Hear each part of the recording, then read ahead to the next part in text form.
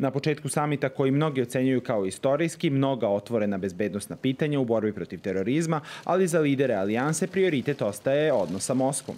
Prvi čovek alijanse želi razrešenje svih nesporazuma. We don't want a new Cold War. Naša pozicija je jasna. NATO ne želi sukobe i ne želi novi hladni rat. Nastavit ćemo da održavamo smisleni i konstruktivan dijalog sa Rusijom.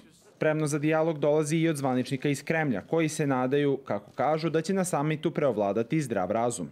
Danas je potpisan i pakt o saradnji između Evropske unije i NATO-a, kojim je uređena kontrola granica Unije.